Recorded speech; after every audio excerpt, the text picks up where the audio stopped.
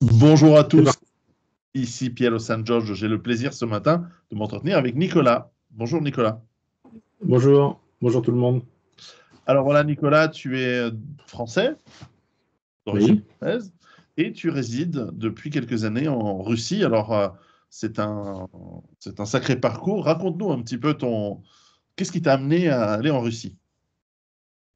Oh, ça va être long ça. Euh, alors j'étais policier en France pendant 25 ans et euh, il est arrivé un moment où une goutte d'eau a fait déborder le vase et où j'étais pas rentré dans la police pour faire ce qu'on me demandait de faire. Donc euh, j'ai été dans le bureau du directeur départemental, je lui ai posé mon flingue sur la table, ma carte et j'ai dit je me casse. Et je suis vraiment parti. Et donc j'avais euh, j'avais mon, épouse à l'époque, mon ex-épouse qui était russe, et euh, j'ai dit on s'en va en Russie parce que ici j'en ai marre, c'est plus possible. Elle, s'était fait agresser dans la rue. Euh, elle, avait, elle avait une fille, bon, je la considérais comme ma fille, qui avait 12-13 ans, donc je ne la voyais pas bien vivre là. Et puis, on est parti à Kazan, voilà, tout simplement. Euh, donc c'était en 2013-2014. Et euh, depuis, ben, je suis à peu près resté en Russie pendant toutes ces années. D'accord. Qu'est-ce qui te plaît en Russie? Euh, Pour faire simple, on vit dans les années 60. Alors moi, je parle pour la Russie des campagnes, hein, parce que je vis à la campagne. Je ne parle pas pour Moscou, Saint-Pétersbourg. D'ailleurs, les Russes le disent, il y a Moscou, Saint-Pétersbourg et la Russie. Mhm. C'est une maxime qu'ils ont. Euh, Moscou, Saint-Pétersbourg, c'est plus, euh, plus l'Occident, un peu. C'est un peu, ils vivent un peu, ils, gardent l'âme russe, ils gardent tout ça, d'accord, mais ils ont une manière de vivre un peu comme à Paris, un peu comme dans les grandes villes. Tandis qu'à la campagne, nous, c'est vraiment, c'est vraiment, euh, ben, que je me souvenais de la campagne en Bretagne chez ma grand-mère, euh, dans un petit village, euh, bah, bah, bah, c'est pareil. C'est la même chose. La gentillesse des gens, euh, pas de mensonges. Alors ça, ça fait un bien fou. Il n'y a pas de mensonges. Moi, je j'entends jamais de mensonges. Les gens mentent pas parce que s'ils mentent et que ça sait, ils auraient honte. Et la honte en Russie, c'est super important. donc les gens mentent pas. Voilà, tout simplement. Euh, si, euh, euh, pour donner un exemple, j'ai déjà vu ça, un jeune avait volé une bouteille d'alcool dans un supermarché. C'est rare qu'il y ait des vols, hein, mais bon, là, il l'avait fait. Ils n'ont pas appelé la police, ils l'ont pris en photo, ils ont mis la photo sur la porte avec marqué voleur. Et ça s'est su vite. Le, le, téléphone arabe, enfin en russe on dit le téléphone séraphin, je crois, ou quelque chose comme ça. Euh, ça s'est su très vite, donc la famille, euh, plus personne leur parlait. Enfin bon, c'était la honte, quoi. Donc la honte, c'est hyper important. À tous les niveaux.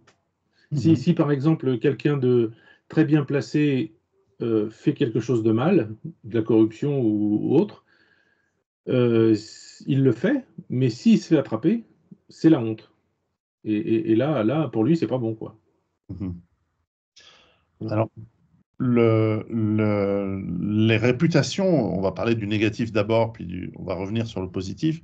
Une des réputations qu'a à l'étranger la Russie, euh, ah, tu me diras si c'est une réputation qui est vraie ou pas, peut-être due aux années 90, c'est qu'il y a pas mal de bureaucratie et de corruption. Est-ce que tu as dû faire face à ces deux problèmes lorsque tu t'es installé ou encore aujourd'hui? Euh, Pas du tout. Rien, du tout. la bureaucratie, un peu, euh, c'est très. Euh, alors, au final, j'en suis arrivé à la conclusion, avec tout ce que j'ai pu voir et vivre en Russie, avec les documents administratifs, avec tout ça. C'est peut-être stupide, mais mon idée, c'est qu'ils n'ont pas le cerveau fabriqué comme nous, pas comme en Occident. C'est-à-dire, euh, pour eux, des choses qui sont logiques, pour moi, ça ne l'est pas. Pour moi, des trucs qui sont logiques, pour eux, ça ne l'est pas. Euh, l'administration qui demande des trucs, euh, c'est des fois c'est totalement illogique et je vois ma femme qui remplit ça sans problème. Parce qu'elle a l'habitude de. Elle sait quoi. C'est comme ça qu'on fait, c'est comme ça qu'on fait. Bah ouais, mais c'est pas logique. Bah oui, mais c'est comme ça. Bon. Ça, ça c'est le, souci avec l'administration. Euh, ils sont rentrés dans l'ère informatique, alors de plein pied, parce que tout est informatisé presque. Hein. Tous les, toutes les choses, la, la, médecine, tout, tout mais, mais, mais, pas avec un côté euh, comme on pourrait voir en Occident, où on pense à, raison ou à tort que c'est utilisé par d'autres personnes pour faire des choses. ici, c'est vraiment pour les gens, c'est pas, pas utilisé par quelqu'un d'autre. C'est vraiment très sécurisé. Et, mais le problème qu'ils ont, c'est qu'en même temps qu'ils font l'informatique, ils font aussi le papier. Donc ils ont euh, les dossiers informatiques et un dossier comme ça en papier qui fait 3 tonnes. Euh, et, bon, ça, c'est, euh, je trouve ça un peu dommage, mais bon. Et côté corruption, bah non, jamais. J'ai jamais vu ça. J'ai jamais vu de corruption. Il y a 10 ans, j'ai vu un truc une fois euh, en France, pour avoir mon passeport, il fallait que je donne les documents à la préfecture et un mois après, j'avais mon passeport. En Russie, euh, j'avais besoin d'un document, j'ai été à l'administration, j'ai donné à l'époque 500 roubles et j'ai eu mon document le lendemain. C'est le seul truc de corruption, si on peut appeler ça de la corruption. Hmm.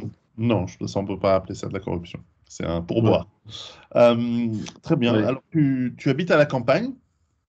Oui et tu t'es euh, mis, euh, alors c'est un grand mot, mais on, peut dire que tu es un néo-rural, c'est-à-dire que tu t'es tu t'es installé, tu essaies de vivre aussi de ton, de ton activité à la campagne. Oui, c'est ça. Je donne des cours de français par, par, Internet. D'accord. À des Russes. Et voilà, je gagne ma vie comme ça. D'accord. Donc l'apprentissage, d'ailleurs, l'apprentissage de la langue russe, ça t'a pris. Bon, tu étais déjà marié avec une, avec une russe, donc ça a dû un petit peu aider, mais c'était long, c'était difficile? Mais je sais toujours pas bien parler russe. Hein. Euh, c'est un, un conseil que je peux donner à quelqu'un qui va se marier avec une russe ou qui a l'intention de le faire, c'est de parler russe tout le temps et pas parler anglais avec sa femme comme moi je fais et on en a pris l'habitude et c'est une catastrophe. Aïe aïe aïe, il faut que je m'y mette. et, on, dit, et on dit allez, allez, on parle russe maintenant, d'accord. Et ça dure trois minutes, et au bout de trois minutes, soit l'un ou l'autre veut dire quelque chose d'important, et pof, on arrête de parler russe et on c'est reparti en anglais, ou, une espèce de langue qu'on a qui mélange le français, l'anglais et le russe. Que personne comprend, que nous on comprend parce qu'on connaît ces mots, mais, voilà. Bon, donc oui, bah c'est voilà, c'est pas simple. Mais euh, après tout, en 10 ans, c'est il faut du temps pour apprendre une langue. Euh, et donc raconte-nous un petit peu ton aventure dans la ruralité, dans la campagne, euh, parce que comme tu le sais peut-être, moi aussi, j'ai fait cette démarche il y a une dizaine, plus d'une quinzaine d'années maintenant, de, partir à la campagne, de mettre en place une ferme, de, de essayer de vivre par mes propres par mes propres moyens à la campagne, en partie, hein, pas à 100% parce que j'y arrive pas encore. Et comment comment tu t'es comment tu t'es installé? Qu'est-ce que tu fais? Parce que c'est surtout ça que, qui intéresse mon, mon audience, je crois. Alors, j'ai acheté une maison à 3500 euros euh, dans un village. Donc, en Russie, une maison à 3500 euros, c'est une maison euh, où il n'y a pas de salle de bain, il n'y a pas de toilette, il n'y a pas d'eau courante. Euh, il y a la vie russe de la campagne d'avant. C'était comme ça. Les toilettes sont dehors un peu comme on avait en France il y a 50 ans. Et euh, donc voilà, j'ai acheté cette maison, il y a un hectare de terre avec. Et puis euh, on fait les travaux petit à petit. Euh, donc l'avantage en Russie, c'est un avantage que je trouve moi, mais en France ça existe aussi, je pense. c'est que là, par exemple, pendant qu'on parle, j'ai deux cousins qui sont à la cave, là, qui sont en train de, de bétonner la cave et de faire des parpaings et de refaire des fondations ils sont en train de travailler là. Et ils ont pris euh, une semaine de congé et ils viennent m'aider. Euh, donc ça se passe comme ça. S'il y, a, un gros problème dans le village, euh, tout le monde vient aider. on a des... ouais, enfin ça n'a rien à voir avec le sujet ça, mais on a les animaux qui se promènent en liberté partout, un peu comme dans l'Altaï. Et, euh, moi, mes chefs sont dehors, là, avec les bébés, avec les, bébés chefs, ils sont, les, chevreaux, ils sont dehors, devant la maison, ils, broutent, il y a les vaches qui passent. Alors, euh, bon, bah, faut faire attention, parce que si on met du foin dehors, bah, les vaches viennent le manger. Ça m'est arrivé, mais immédiatement, le propriétaire des vaches est venu avec son tracteur, sa remorque, on a chargé tout dedans, on a mis ça sous le toit de la maison, euh, de, la grange, enfin bon, mais comme ça, il vient aider pour faire ça.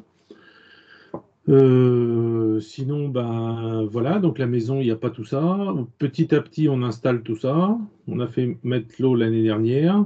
Alors, on a l'eau euh, froide et chaude, pas encore. Euh, toilette, salle de bain, toujours pas. Et donc, on se débrouille comme, comme faisaient nos grands-parents, quoi. Euh, l'eau courante, eh ben, c'est un puits qui a été creusé à l'époque soviétique. Euh, en fait, c'était un programme qu'il y avait eu à cette époque-là où euh, je ne sais qui à Moscou avait, avait décidé qu'il voulait que dans tous les villages de Russie, il y ait de l'eau potable. Donc, ils ont envoyé village par village des équipes qui ont creusé des puits très profonds. Et il y en a un, trois maisons après moi, là, et euh, donc, je vais tous les 15 jours chercher 45 litres d'eau avec mes bidons. Et puis, euh, suivi avec mes chèvres, mon chien, enfin, tout le monde me suit pour aller là-bas. Mhm. Et, euh, et, je ramène ça à la maison. Puis voilà, on met ça dans un grand, grand pot à lait de 40 litres, là, dans. Là. Et puis, on boit, on boit l'eau comme ça. L'installation, ça s'est fait vraiment super facilement. Tout le monde a été sympa avec nous. Euh, euh, j'ai vite découvert que j'allais payer 9 euros par an de taxes foncières. Euh, je paye 5,56 euros d'électricité par mois et 20 euros de gaz l'hiver quand il fait moins 35. Donc on, chauffe bien quoi. Mmh. Voilà, donc j'ai une maison avec un, ce qu'on appelle Ruskaya Pechka, c'est-à-dire un, four russe qui fait 6 tonnes, où on peut dormir dessus. C'était la place des grands-parents dans le temps. Mhm. Et euh, donc il y a un endroit pour qu'on on met le feu à l'intérieur, ça chauffe les briques, et là on peut faire du pain, on peut, faire, on peut mettre plein de trucs, euh, des gâteaux, enfin tout ce qu'on veut. Et on a un autre petit four sur le côté qui lui est là pour. Euh, il y a une espèce de chemin de briques dans tout le four en fait. C'est pour ça qu'il est si gros. Et ça chauffe et la, chaleur se promène dans tout ça et ça chauffe le mur qui est du four et ça rayonne dans toute la maison. Et voilà. Mhm. C'est comme ça que les gens se chauffaient avant. C'est efficace. C'est efficace, oui. Quand il fait très très froid l'hiver et qu'on chauffe et qu'il fait que 16, 17 dans la maison, on allume celui-là aussi. D'accord. Donc voilà, ça chauffe pour, pour un bon moment. Ouais, 16-17, on, met des pulls, puis voilà.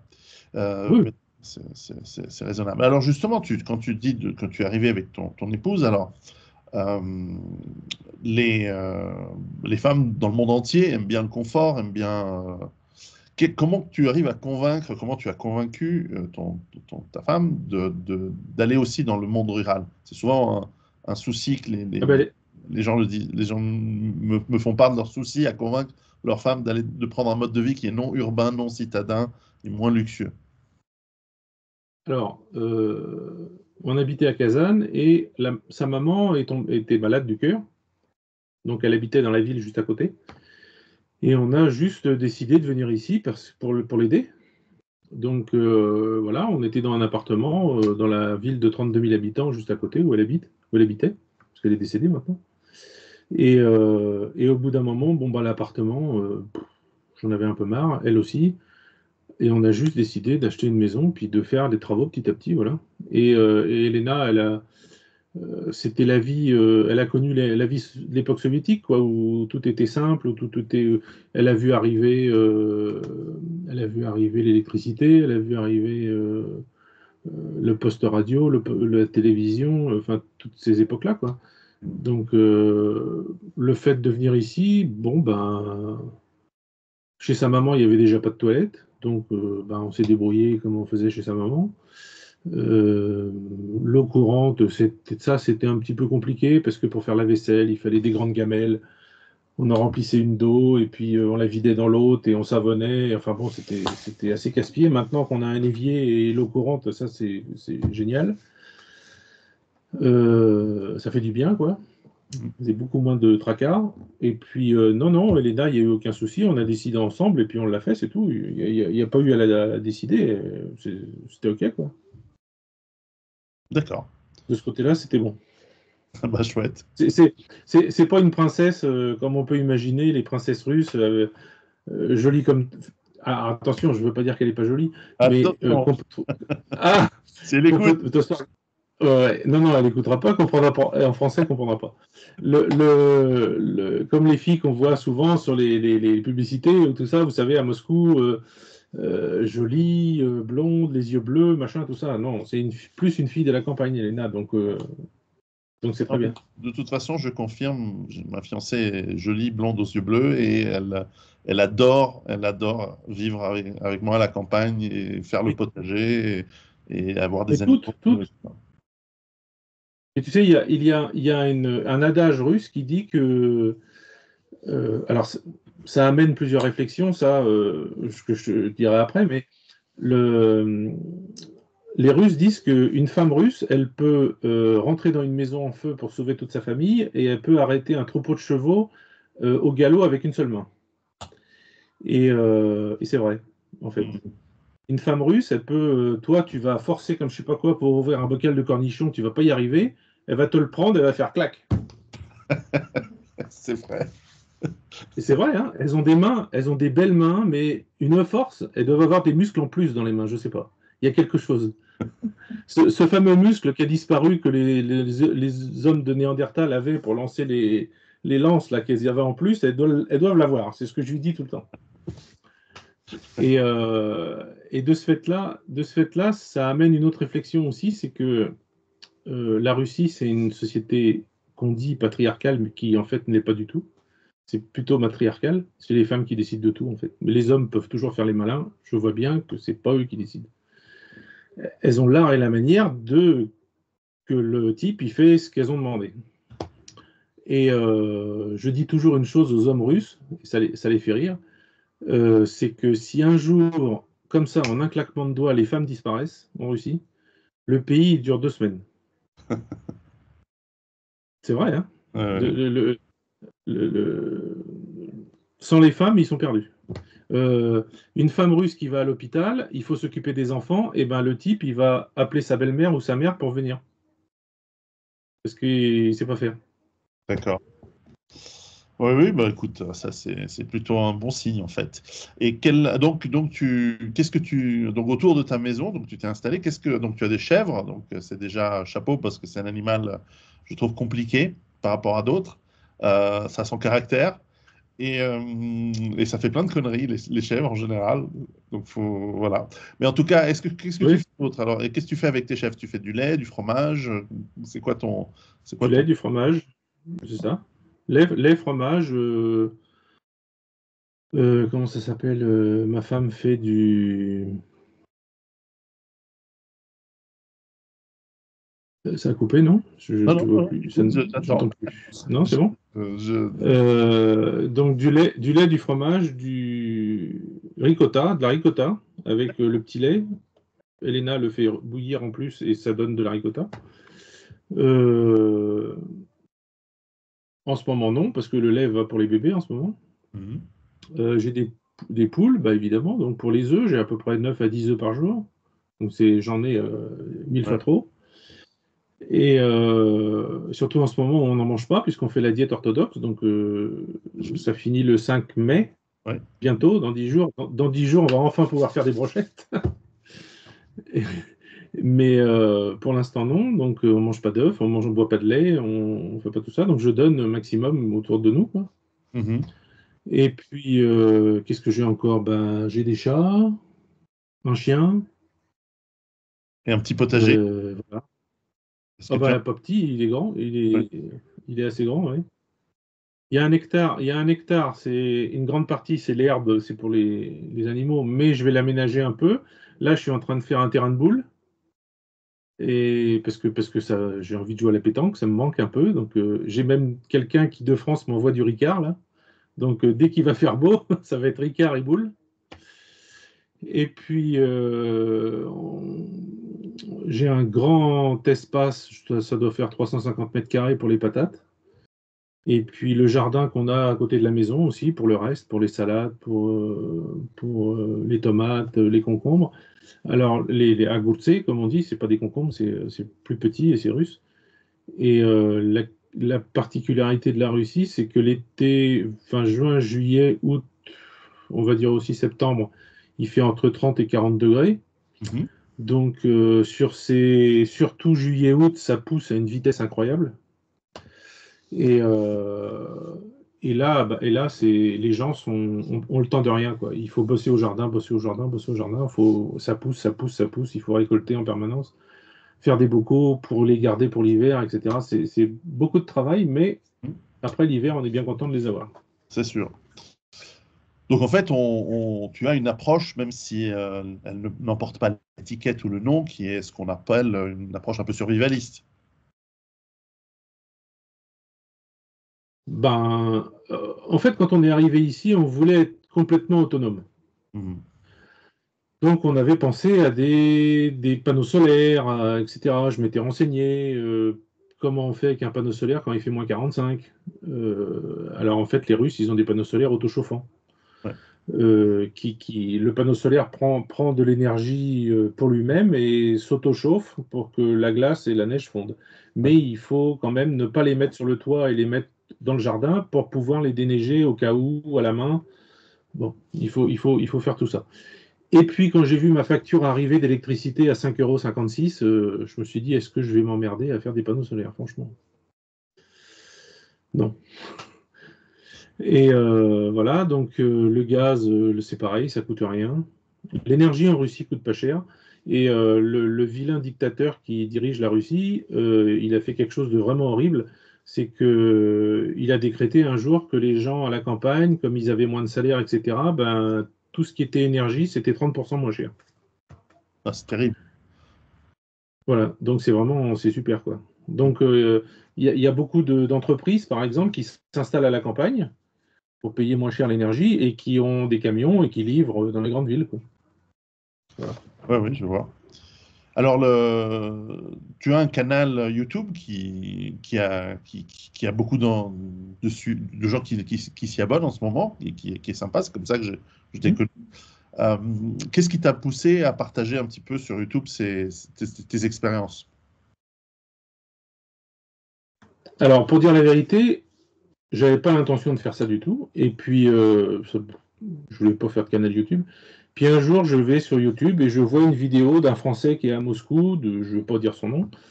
Et dans sa vidéo, il dit que euh, à la campagne en Russie, il faut pas y aller, c'est horrible, euh, il y a 80% de chances de se faire tuer d'un coup de couteau, etc. Mais je dis, mais qu'est-ce qu'il raconte lui? Il est, pas bien dans sa tête? Et du coup, j'ai commencé à regarder YouTube et j'ai vu que c'était assez facile d'ouvrir une chaîne en fait. Et puis j'ai commencé à faire des vidéos pour expliquer que la campagne russe, c'est pas pas du tout horrible, c'est génial, au, contraire. Euh, on, est libre, mais mais ça, ça, faut que les gens le comprennent. Euh, par rapport à la France, j'ai jamais été aussi libre qu'ici. Je peux faire tout ce que je veux. Euh, pourquoi? Parce que rien ne coûte cher. si j'ai envie d'aller dans l'Altaï demain, je prends ma voiture, l'essence coûte 50 centimes du litre. Euh, je vais dans Valtaille, euh, je vais passer une semaine là-bas, ça coûte euh, moins de 20 euros, se trouve même moins de 15 euros la nuit dans un, gîte.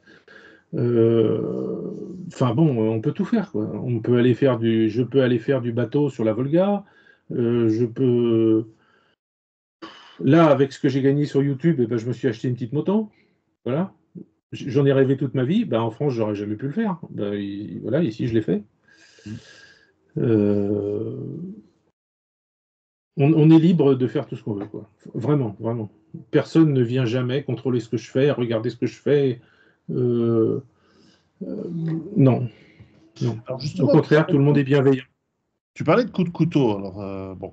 La défense, ou éventuellement la chasse. toi, tu, tu, donc, tu es un ancien policier. Euh, tu connais les armes, c'est facile d'obtenir un permis, s'il faut même un permis, un permis de chasse, obtenir un, fusil, une arme, une arme à feu. Comment ça se passe en Russie pour cet aspect-là?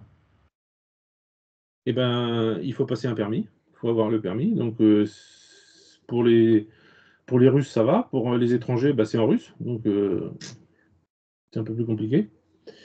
mais une fois, une fois qu'on a le permis, bah, on achète une arme et puis il y a des règles à la maison. Alors je, j'ai mon beau-frère, le frère d'Elena qui, chasse, enfin les deux frères même qui chassent. Donc j'ai vu un peu comment ça se passait. Donc eux, ils ont le permis pour le, permis du premier niveau, c'est-à-dire les oiseaux, donc les canards, les perdrix, etc. Pas, les sangliers, pas les élans, pas, les ours, pas, tout ça. Et, euh, donc, euh, on doit avoir à la maison une sorte de coffre-fort ou une armoire très bien fermée, et le fusil doit être dedans, fermé à clé, déchargé, etc. Les munitions dans un autre endroit, enfin vraiment c'est sérieux. Et euh, une fois par an, la police vient faire un contrôle inopiné. Euh, la police vient et, bonjour, euh, on vient voir où est le fusil, bah rentrer, et puis hop, voilà, bah, ils, viennent le soir évidemment quand les gens sont à la maison, et bah, ils, constatent que le fusil est bien dans une armoire, et, voilà, et ils rigolent pas avec ça. Hein. Tous les gens que je connais qui sachent, ils ont qui chassent, oui, ont une arme à la maison et, ils respectent les règles, les vraies règles. Et pour la pêche, c'est la même chose. Mais la pêche, la pêche, il faut un permis aussi, mais personne passe le permis en fait.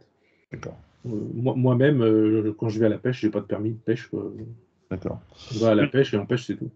On, oublie de dire, il y a énormément de rivières, de fleuves, mais aussi d'étangs et de lacs, même tout petits, où il y a beaucoup de poissons aussi. Oui. Entre ça et les champignons, il y a de quoi manger. Oh bah les champignons, c'est incroyable. Je vais au bout de mon champ. Il y a une espèce de zone avec, j'ai déjà filmé d'ailleurs sur mes vidéos, une espèce de zone avec des jeux pour les enfants. Euh, et euh, juste sur cette zone, j'ai ramassé 7 kilos de ce qu'on appelle euh, masleata. C'est comme des cèpes plus petits et un peu huileux. Mhm. C'est grippe, hein, je crois, en russe. Gribe. Gribe. Gribe, ok. Gribe.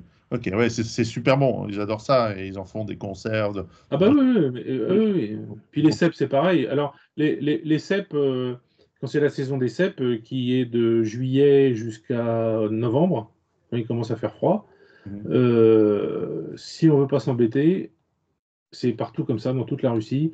On va en voiture là où il y a des forêts à champignons et sur le bord des routes, il y a toujours des gens qui sont là avec des seaux qui, pour, euh, pour 200, 500 roubles, on va dire, vendent euh, le seau rempli de, rempli de cèpes. Euh, ils donnent le seau avec et, et on part avec des champignons. C'est super. Quels sont les. Bon, alors justement, sur ton canal, tu, tu, as eu beaucoup de succès aussi. On va peut-être. Je ne sais pas si c'est si un sujet important pour ma communauté, mais, mais pour, tu as eu beaucoup de succès aussi depuis cette opération spéciale, cette guerre en Ukraine, euh, qui, euh, qui, me rend très triste de voir nos cousins euh, slaves se tuer entre eux, malheureusement. Enfin, c'est surtout les Ukrainiens qui prennent, mais enfin bon. enfin, c'est comme ça. Tu as eu beaucoup de succès parce que tu, tu, donnes le point de vue aussi de, de, la ruralité russe, des villages russes qui. Voilà, comment, comment est-ce qu'en général, dans les villages russes, on vit euh, une, guerre voilà, qui, a lieu. Alors je sais qu'en Russie on dit opération spéciale, très bien. Enfin voilà un conflit qui... Euh, est-ce qu'il y a eu une évolution dans la pensée de, des gens dans le village? Euh, Non, pas, d'évolution, toujours la même. Depuis le début, j'ai jamais entendu autre chose. Tout le monde soutient tout ce que fait le gouvernement, tout le monde soutient l'armée, euh, moi, je participe à. Alors, les, gens sur ma chaîne euh, m'envoient des dons.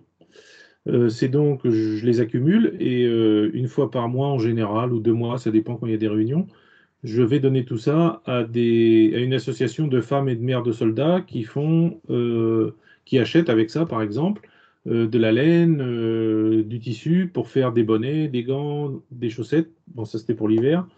Là, en ce moment, les soldats leur ont demandé pour les zones de repos, pas là où ils se battent, mais parce qu'ils ont ce qu'il faut, mais pour la zone de repos, si les mamans et les femmes, leurs femmes pouvaient faire des filets de camouflage. Donc j'ai emmené l'argent il y a deux, ou trois jours là. Et puis euh, bah, j'ai fait une vidéo là-dessus. Donc euh, elles m'ont montré là où elles faisaient les filets, etc. Tout le monde était content.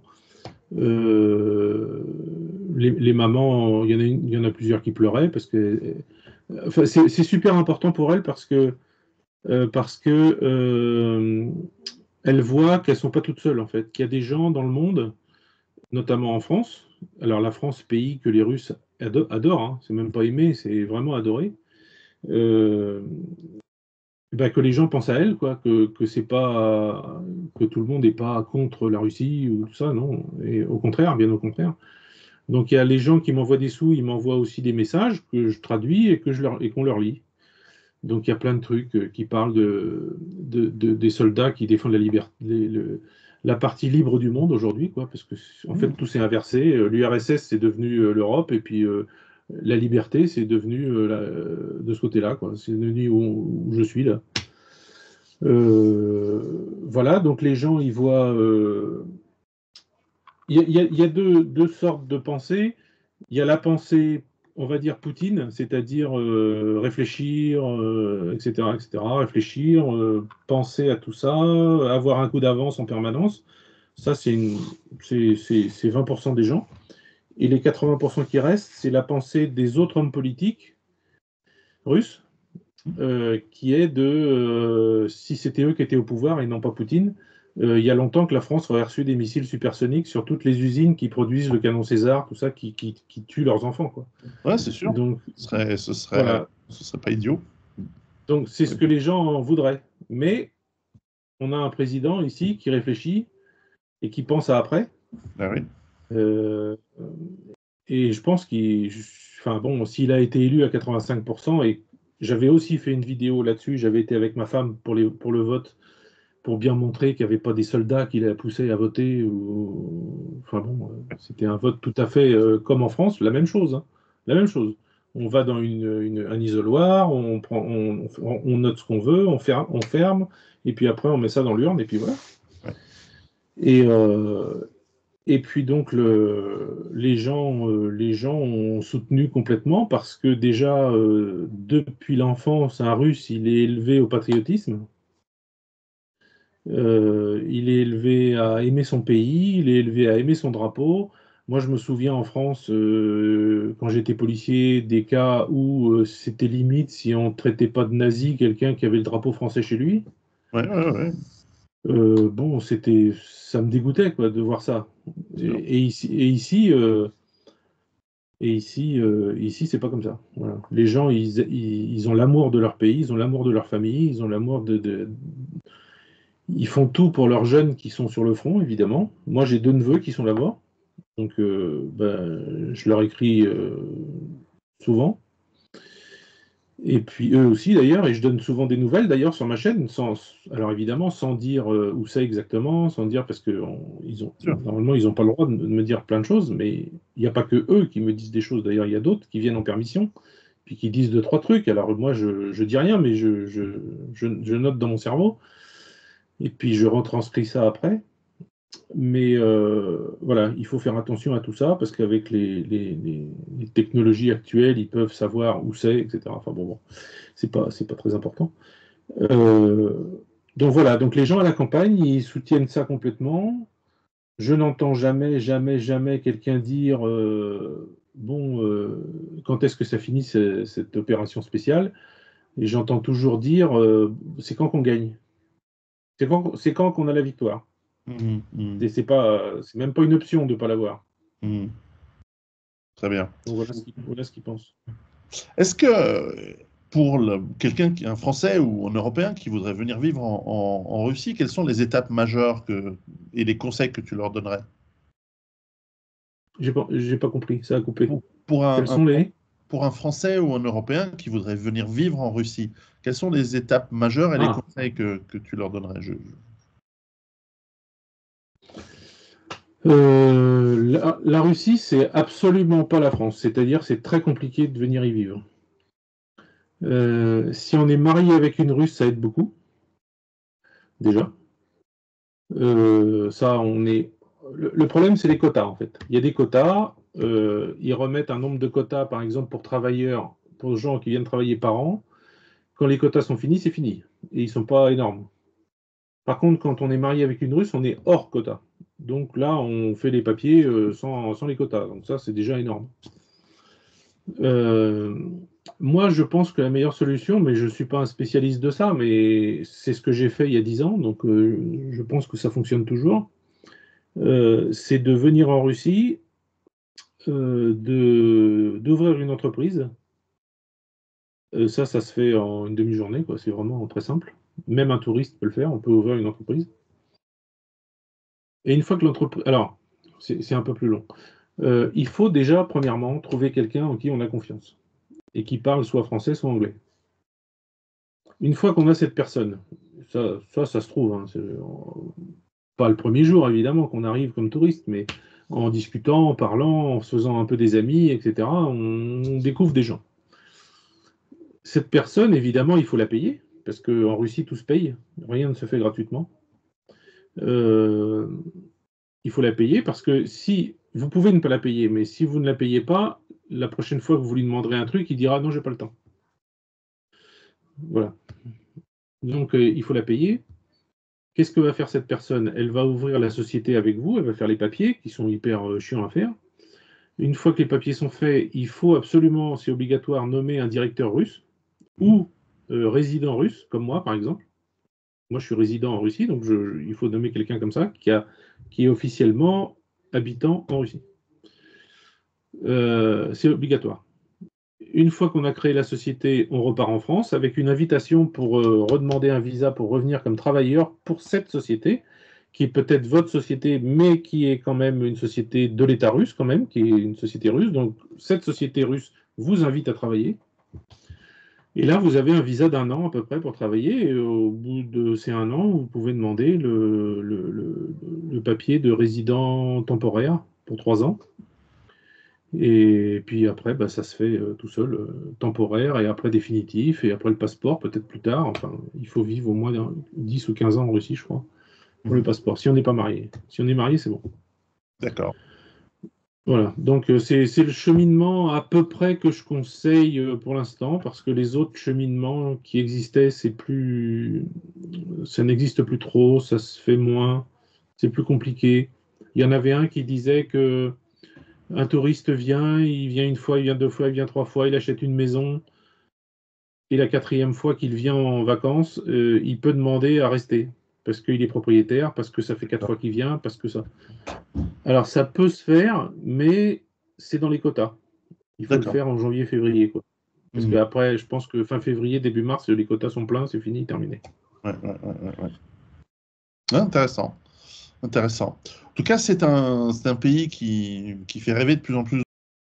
La propagande anti-russe qui est présente en Occident, elle ne marche pas les, elle marche chez certains, bien sûr, dans les, mais c'est les mêmes qui se sont fait piquer, c'est les mêmes qui, C'est les mêmes qui, soutiennent l'Ukraine. Bah, ok, on peut rien faire contre pour eux, c'est des maladies incurables.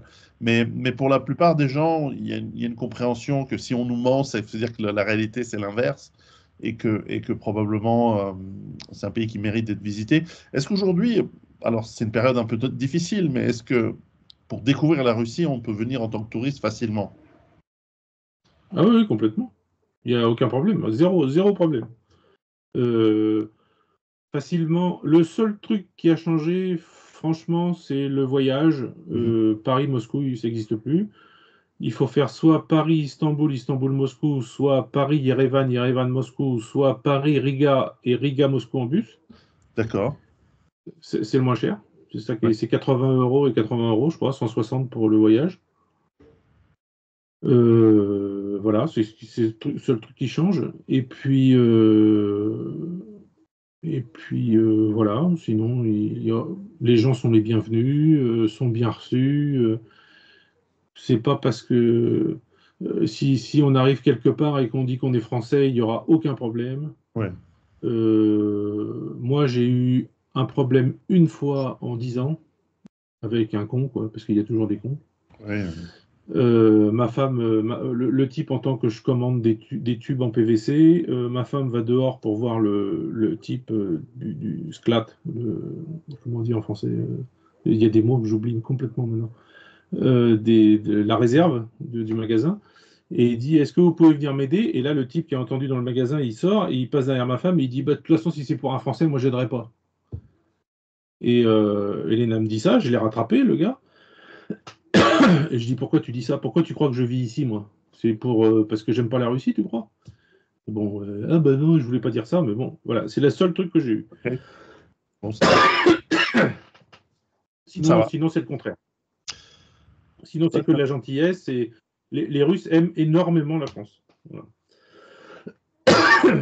On, le ressent, on le ressent très très bien euh, euh, quand, on est, euh, tu vois, dans l'Altaï, on a, on fait des, on, cuisine français dans le, dans le, dans le petit hôtel que, que, je, que je possède là-bas et que je, fais gérer par un partenaire français.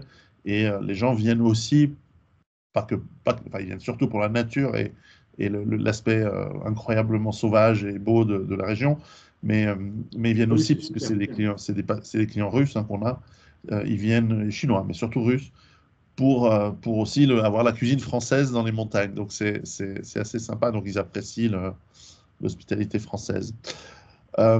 Nicolas, ben merci beaucoup. Est-ce que, est que, alors je mettrai le lien de ta chaîne YouTube. Est-ce que tu as d'autres liens que tu voudrais partager euh, avec notre, nos auditeurs Non, bah, j'ai le, canal Telegram, j'en ai deux. Il y en a un avec le chat et l'autre sans, où c'est juste les vidéos, les infos, les trucs comme ça. Euh, voilà, et puis euh, on, est à peu près, on est à peu près, on, est plusieurs en Russie à avoir des chaînes comme ça pour tous avec le même but de, de réinformer suite aux mensonges qui sont dits en France, quoi, parce que c'est c'est comme ça. Donc il y a Christelle Néant et puis Xavier Moreau qui sont, sont deux amis. des chaînes très intéressantes. Bien sûr, c'est deux, amis, deux amis que je connais personnellement, je, les salue euh, volontiers. D'accord. Je les connais bien. Mm. Voilà, bah, voilà, Xavier Moreau moins, mais Christelle, on se, on se contacte euh, une fois par semaine. enfin bon, on se connaît depuis très longtemps. Et, euh, euh, bon voilà, ça, ça c'est des chaînes que les gens peuvent suivre aussi s'ils veulent, euh, s'ils veulent entendre la vérité sur ce qui se passe, sur. Tout à fait. parce que, parce que comme, comme j'ai dit, et c'est très très important, le, le, mensonge en Russie, c'est pas du tout à la mode. Ah non. Donc, donc en général, je vais essayer de prendre de la hauteur dans ce que je vais dire, sans, sans, sans parti pris, sans rien. Je vous jure que je, là, je n'en mets pas du tout alors que j'aime énormément la Russie, évidemment. Mais quand j'entends ce qu'on dit en France, c'est systématiquement, enfin, à 80% des mensonges. Et quand j'entends les journalistes russes ou le président qui disent des choses, je constate par moi-même, euh, autant par mes neveux qui sont sur le front, autant par mes amis, autant par tout ça, que ce qu'ils ont dit, c'est vrai. C'est vrai, c'est vrai. Alors euh, après. Euh, est-ce qu'un petit message euh, pour conclure, un petit message pour nos, pour nos auditeurs en Europe, qu'est-ce qu'ils peuvent faire pour euh, rebâtir l'amitié entre les peuples euh, d'Europe et, russes? Eh ben, j'ai un projet, moi, c'est de revenir en France pour être dictateur bienveillant. Ah bah, tu es bienvenu à mon avis. Mais ça va être terrible. Mais je pense que c'est ce qu'il faut. Il faut un dictateur bienveillant. Il faut la démocratie, tout ça, c'est foutu. Ils ont trop manipulé tout ça. C'est mort. Il faut quelqu'un qui arrive et qui soit capable de taper du poing sur la table en disant maintenant, c'est comme ça qu'on fait. Et tout en ayant à l'esprit en permanence qui fait tout ça pour le bien de sa population. Parce que moi, ce que je vois depuis qu'il y a les derniers présidents, là, c'est qu'ils n'ont absolument rien fait pour les Français. L'inverse, détruit des choses, euh, vendu des grandes entreprises, euh, détruit la Sécu, détruit tout ça, détruit le chômage, détruit tout ce qui a été fait après la Deuxième Guerre mondiale, mais rien pour la, population. Donc il faut quelqu'un, je pense, mais je ne sais pas qui. Pour l'instant, je ne vois pas de gens, à part moi, je ne vois pas trop. Mais, mais je ne viendrai pas en France. Ou alors, voilà, je peux faire ça, mais par Skype, alors, pas plus. Hein. et, euh, et, en fait, voilà, et je, voulais, aussi dire une petite chose euh, que j'ai dit dans une vidéo il n'y a pas longtemps, mais qu'il est important que les, les Français entendent pour qu'ils voient dans quel monde ils vivent. En 2014, j'étais en Russie et j'allais tous les jours voir mon meilleur copain qui était directeur de l'hôtel Marriott. Et euh, donc, euh, on passait toutes les journées ensemble, le soir, euh, le dîner, etc. Et il y avait beaucoup de Français qui étaient là dans l'hôtel. il y avait des Français de chez EDF, il y avait des Français d'Airbus, il y avait des Français d'une compagnie d'hélicoptères dont je ne me souviens jamais du nom. Il y avait des Français de Renault. Il y avait tous ces gens-là. Et puis, quand les premières sanctions sont arrivées contre la Russie, les grandes entreprises sont parties, parties de Russie. Donc tous ces gens ont quitté l'hôtel. Alors, on a fait une soirée, bon, bah, au revoir, j'espère qu'on reviendra un jour, etc., etc. Très sympa, des gens très sympas, et ils sont partis. Et eh ben, je vous jure que c'est vrai, mais une semaine après, l'hôtel s'est rempli d'Américains. Mmh C'est-à-dire General Electric, euh, Lockheed, je ne sais plus quoi, Sikorsky pour les hélicoptères, euh, donc General Electric à la place d'EDF, euh, ils ont tous pris la place des Français. c'est clair. Les Américains qui avaient fait les sanctions, qui avaient poussé l'Europe à faire les sanctions. Euh, ah, il y a pas plein d'anecdotes comme ça. Quand c'est hein c'est terrible. Ça, c'est on est on est vraiment les dindons de la farce. Hein, c'est clair. Ah bah quand tu vois ça, c'est complet. Moi, moi j'étais quand j'étais policier, j'ai participé à cette affaire où à côté de l'Elysée, euh, il y avait un immeuble avec deux étages en plus, deux faux étages qui étaient faits avec des toiles. En fait, c'était la même peinture que ah le reste de l'immeuble, mais il y avait deux étages de plus. Et en fait, c'était des entêtes de la NSA pour écouter tout ce que Mitterrand disait. Oui, oui, c'est connu. Voilà, on en a entendu parler de ça? Euh, Un petit peu, mais pas trop. Hein. Bah, Mitterrand, là, que je porte pas forcément dans mon cœur, mais au moins il a eu le, courage de le dire. Hein. Il a dit que l'ennemi euh, avec lequel le, pays était en guerre, euh, c'était les États-Unis.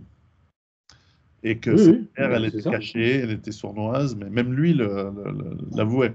Enfin, quand il était au bord de, au bord de, de, casser sa pipe, hein, évidemment, il a attendu. Mais bon. Mais en tout cas, je, te remercie beaucoup. oui, pardon. Oui. Non, non, je voulais juste dire, quand on parle de Mitterrand, que, les gens les plus importants pour les Russes, c'est le général de Gaulle, euh, Napoléon et les pilotes du Normandie-Niemen. Voilà, ça, ah c'est les gens que tous les Russes respectent énormément. C'est sûr. On va, on a avec Xavier Moreau, on va souvent dans ce, dans ce petit bar-restaurant à Moscou, euh, qui est le, qui s'appelle le Normandie-Niemen, qui est tenu par des, Français. Euh, en tout cas, j'y allais il y a encore 3-4 ans. Et euh, oui, oui, je, vois bien que ça a marqué les, Russes, comme quoi hein, une, petite, une petite poignée de gens courageux, ça peut créer des liens entre des nations pendant, très longtemps. Donc, ce que tu fais. Il y a une unité. Oui, oui, mais je fais ça pour ça aussi. Hein. C'est le but. Hein. Et il y a une unité de, avec des Français qui est en ce moment dans l'armée russe qui s'appelle Normandie-Niemen aussi. Excellent, excellent en tout cas, merci beaucoup. Je mettrai évidemment tous les liens euh, sous le, descriptif de la vidéo. Et puis, on espère que euh, une fois que la paix revient, et on espère qu'elle revient vite, euh, après la victoire, hein, bien sûr, parce que bon. Bien sûr, bah, bien sûr. Le camp du bah, bien, bien sûr. Le camp du bien, le camp du mal, hein, parce qu'il faut que ce soit des paix durables. Mais ça serait bien, ça serait, voilà, ça serait bien que ça soit le camp du bien partout. Mais bon. Ah, il faut. Patience, patience, il faut savoir être patient. En tout cas, merci beaucoup. Euh, on, te souhaite, on te souhaite une bonne continuation en, Russie. Comme, bah, on dit, comme on dit en Suisse, tout bon. Et, euh, et puis, bien, à une prochaine. Merci beaucoup. À plus tard. Alors, comment on arrête?